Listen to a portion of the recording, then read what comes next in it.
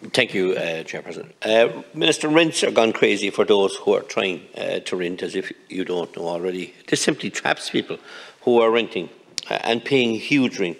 They won't be able to afford to buy a home uh, for themselves. The national standard average rent is 1,352 euros, Minister. So now you understand if there's a family or a couple trying to rent um, a property at 1,352, they'll never be able to own their own homes. They're tied into this trap, the system, which is terrible. And people have lost their homes due to scrupulous banks as well, who have been uh, unwilling to work with them. Vulture funds is the clever way out for these banks.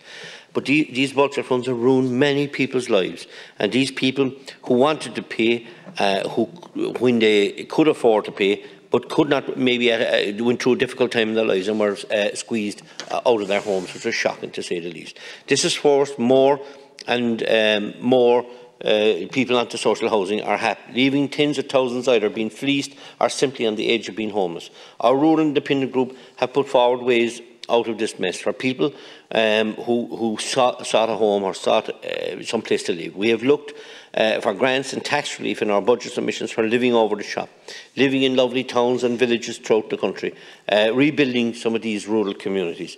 But instead, the government are heaping more misery on the ordinary woman or man who work tirelessly day in, day out. I see it firsthand in my own constituency clinics every weekend and on my phone during the week. They are tired and they are angered, Minister, of the inaction of successive governments. And for those who are willing to try and turn things around and not be a burden on the state, you are creating more pressure on them by making sure policies in here are written up to prevent people from getting simple planning permissions in their homes. I know people who want to live in small timber houses, um, a two-bed maybe in the back garden. What about those who want to uh, want and can renovate a shipping container into a home but are prevented in doing so? What about a home on wheels? Another idea that the local authorities should cooperate with those uh, who want to develop these small type uh, temporary homes and make sure they are tucked away in private property, but instead it is no, Minister. No, no. And you have absolutely no solutions.